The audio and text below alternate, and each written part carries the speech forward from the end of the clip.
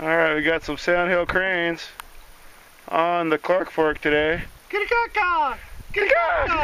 Tookie tookie! And here, I'll go zoom away from the Sandhill cranes.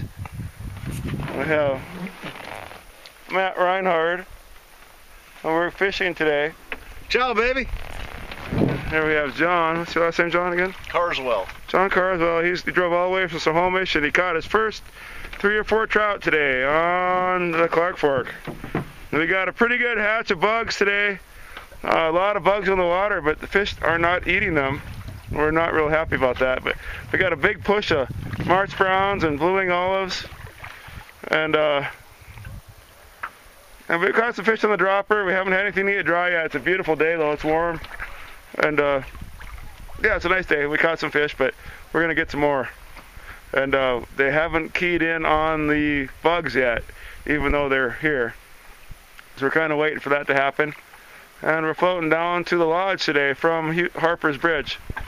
And Joe's like two miles ahead of us. He said we could be lead boat, and We haven't He has a- he has the fastest boat on the river. So anyhow, we will uh, tune out, and we will see you next time. Classic Journey Outfitters. I'm Brooks Jessen. See you guys.